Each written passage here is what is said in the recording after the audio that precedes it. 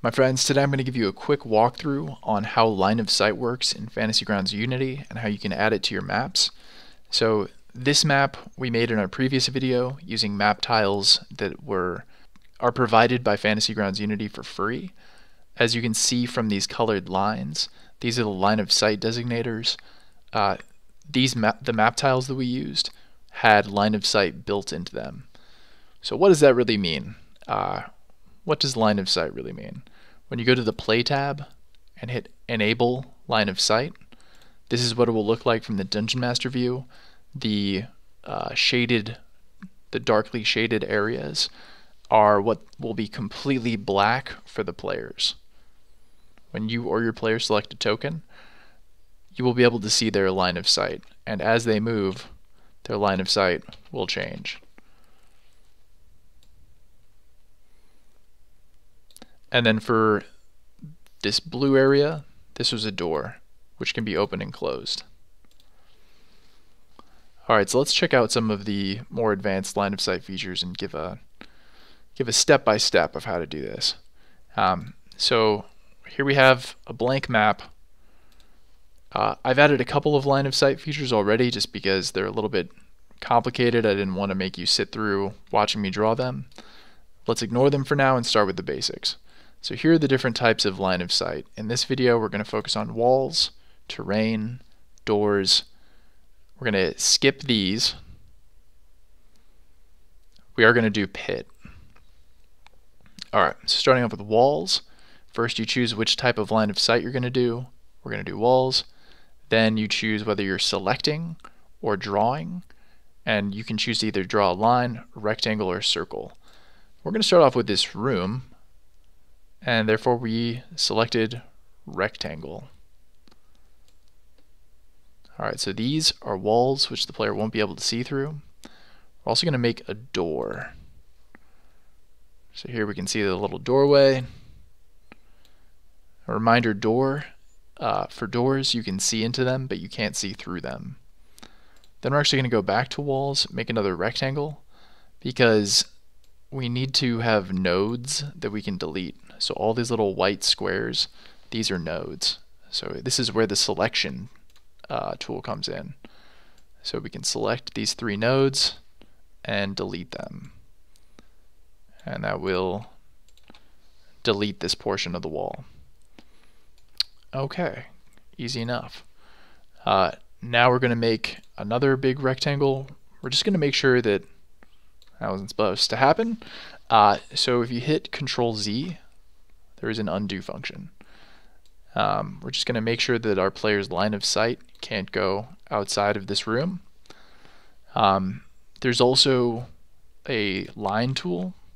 So if you want to just do point by point, we've selected wall and line, and you just click to make any shape that you want.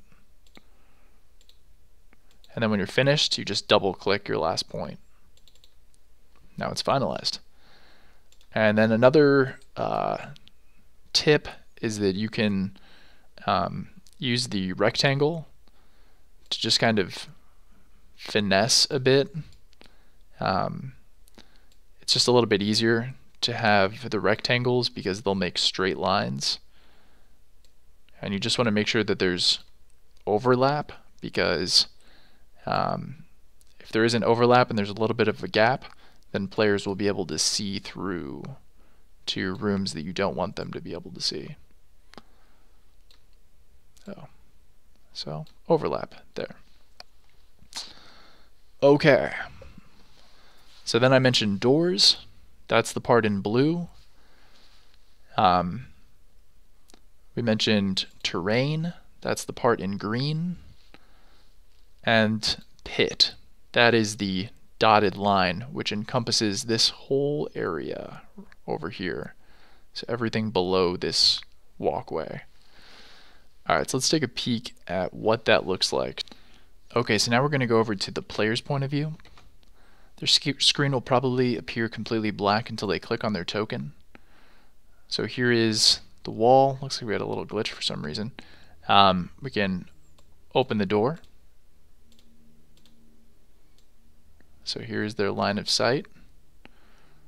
And then as you can see, they are not able to see over this terrain feature. They can see into it, but they can't see past it. So as they walk through, this is what their line of sight is. And just so you know, terrain can be a little finicky when you're doing weird shapes. It's better to do um, a simple shape instead of such a weird oblong one like this.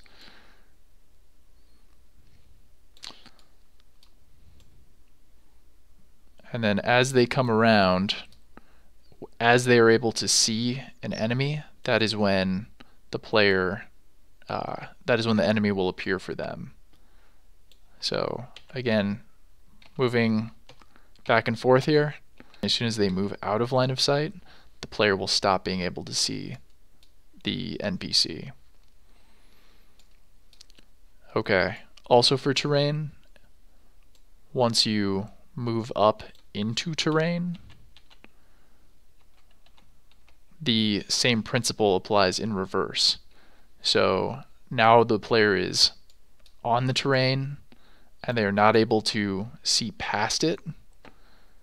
If you as the DM are thinking maybe it makes sense from over here that they can't see past over to the lower floors, but if they're over here and you think they should be able to see, you can just uh, turn that on and off by going into the play mode and then changing it from closed to open. So now the player is able to see down below.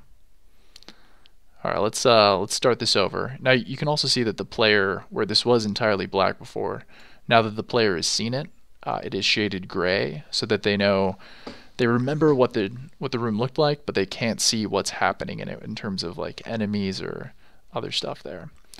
Uh, next up, I want to show you the pit. So everything that's shaded red right now, which is everything below this uh, pathway, is a pit, which I use to just mean it's a lower level. So I'm going to turn that on now.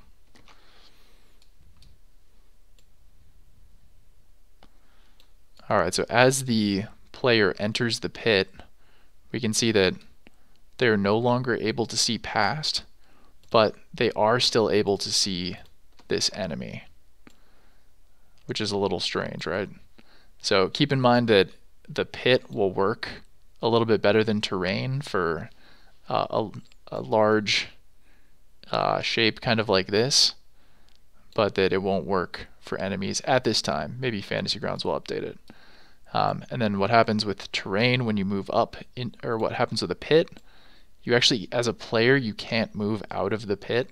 You have to have the dungeon master do it for you. But once you move out of the pit, you're able to see everything below you.